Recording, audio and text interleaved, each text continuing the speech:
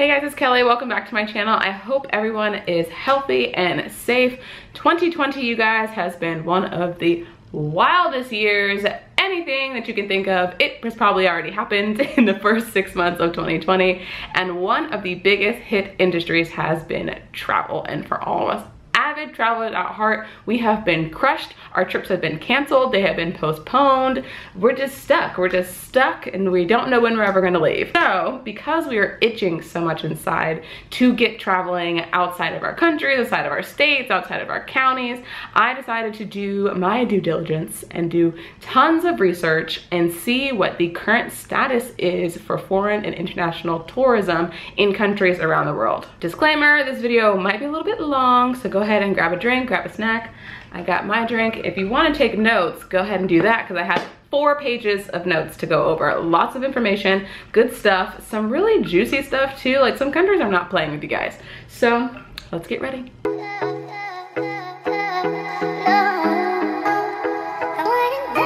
The first country I'm gonna chat about is Mexico. Mexico is currently in a phased reopening and by phased reopening, they mean by state and by region within the country of Mexico. For example, the reopening status in Baja California Sur. Some hotels and restaurants have reopened as of the 16th of June, but they are only functioning at a 30% capacity. What this tells you is that they may be having lower prices or higher prices on hotels and the restaurants may also be taking really, really, really long waits or just reservations in general. In another area in Quintana Roo, which is super popular, that's Tulum, Cancun, and Playa del Carmen, they are currently somewhere in between. From what I could find, they are currently in a reopening status between the 10th and 15th of June with some random hotels opening that didn't really tell me too much. I didn't see anything about entertainment or retail or beaches, but somewhere in between the 10th and 15th of June. Meanwhile, unfortunately, some regions of Mexico don't have any plan at all. They are still going through it, unfortunately, and they're still suffering from the coronavirus and transmission rates that are going up. So they have no current reopening plan to tourists.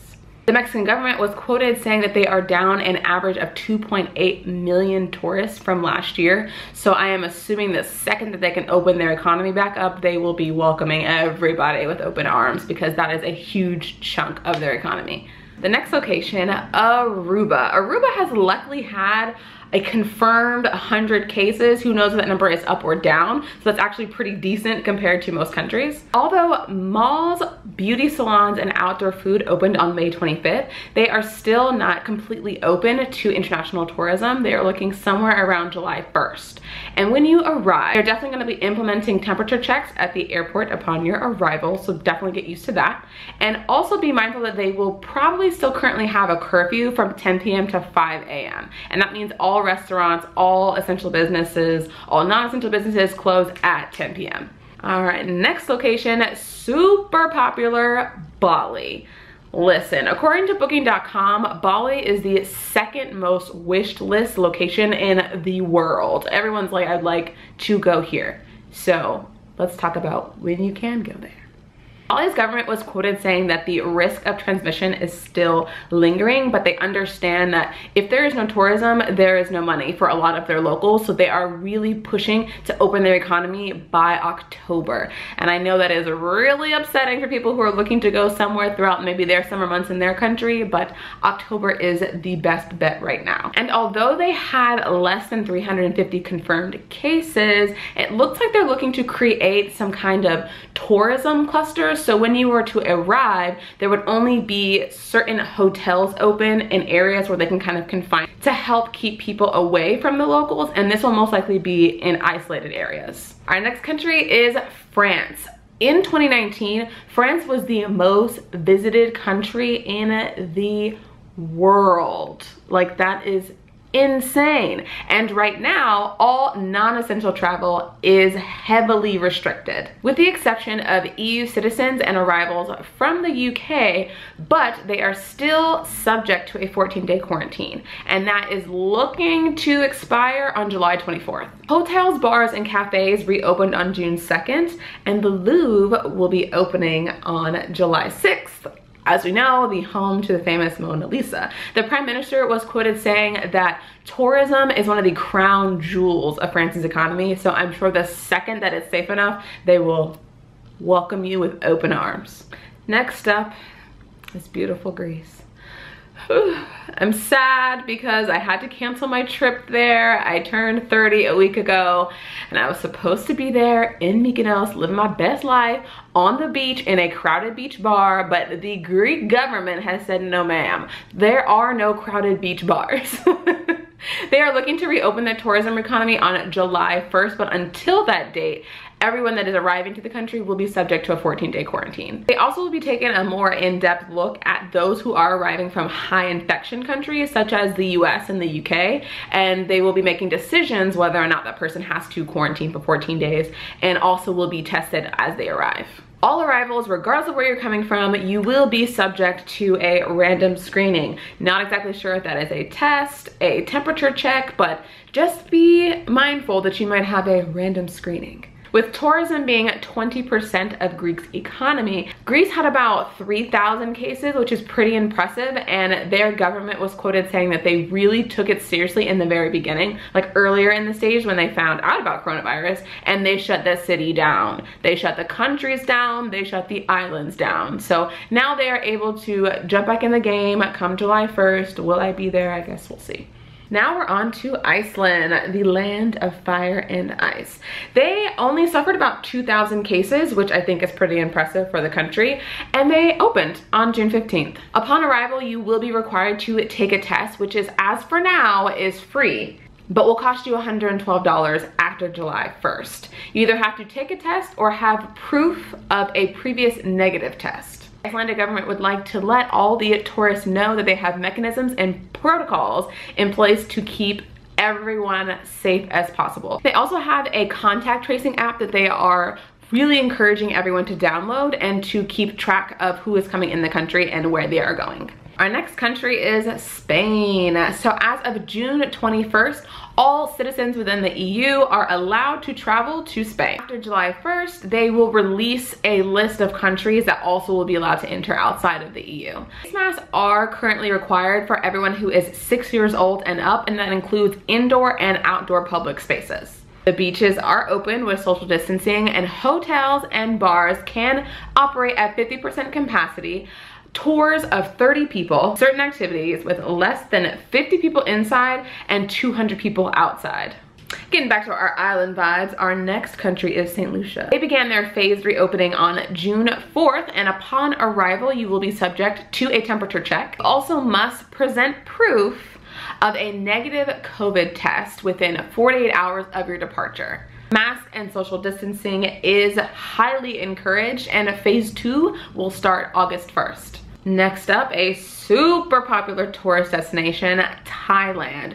Last year in 2019, they had 40 million tourists visit that wonderful country. And they had about 3,000 confirmed cases of COVID. The Thai government is taking it very seriously and they are looking to open for international and foreign tourism in the fourth quarter of the year. Currently, there is a ban on international flights till at least June 30th and that is subject to change. The government is currently toying with the idea of doing a long-term stay application and that will be approved on a case-by-case -case basis, also starting in the fourth quarter of the year.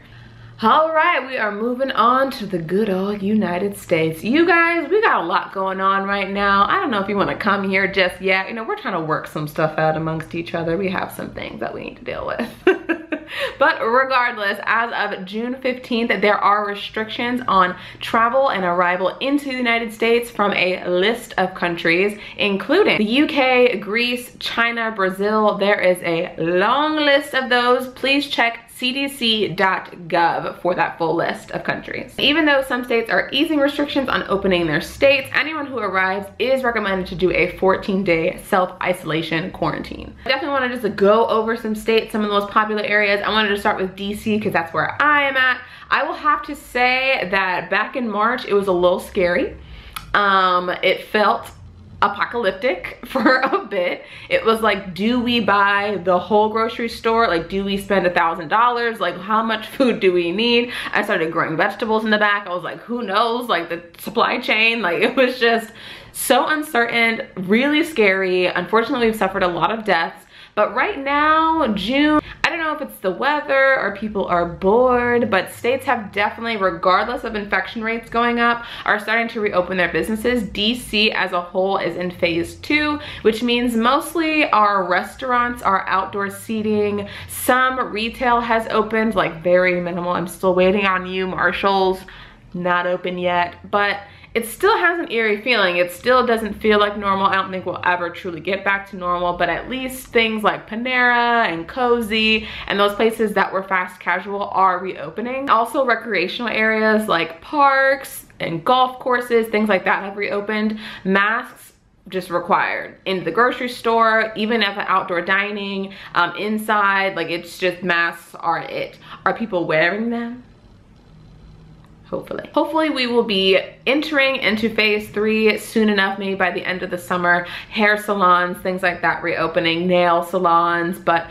for right now, it is just mostly good old outdoor stuff and a couple of gyms. Let's talk about California. So they just said, hey guys, May 25th, we're opening it up retail, zoos, bowling alleys, bars, restaurants, and opening soon will be tattoo parlors, nail salons, personal care type things. Good old New York. It seemed like New York was like all eyes for a long time because that was one of the hot spots. That was the epicenter of the coronavirus cases.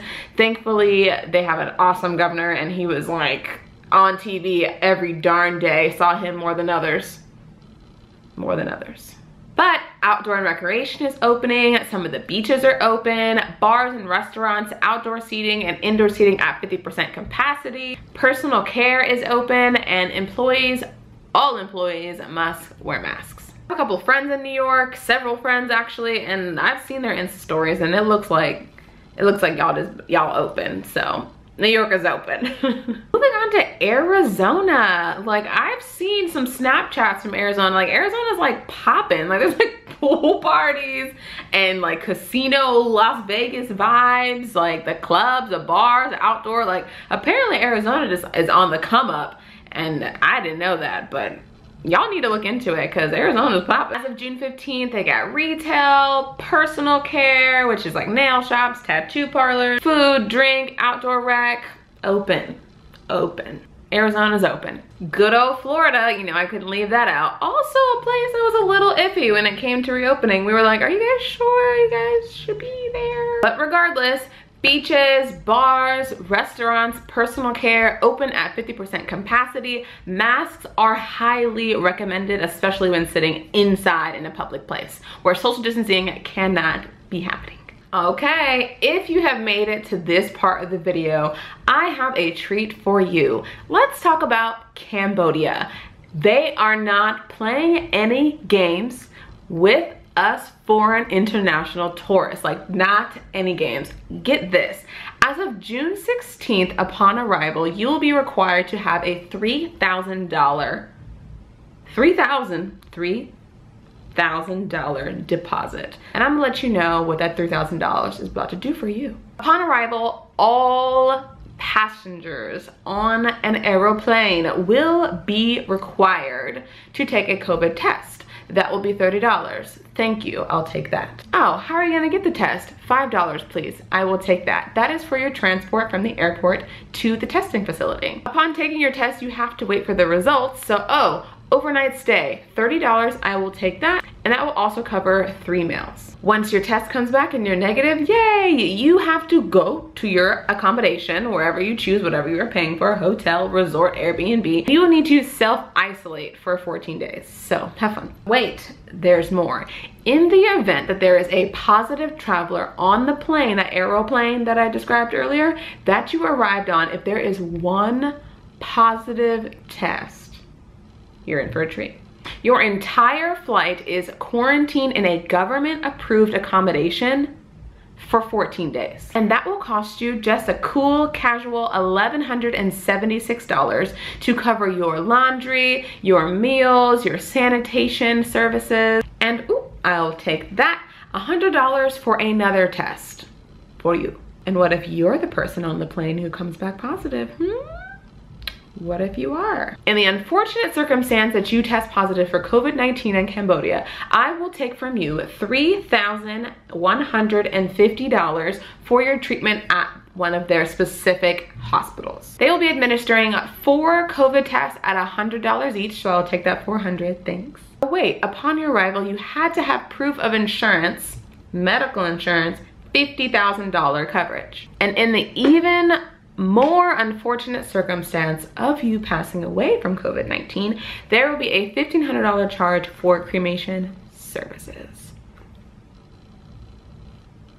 Oh man, listen, I respect it. If you're coming into the country, you're putting their citizens at risk. They're not playing any games, so choose wisely if you're thinking of having a Cambodian vacation. That's it, guys.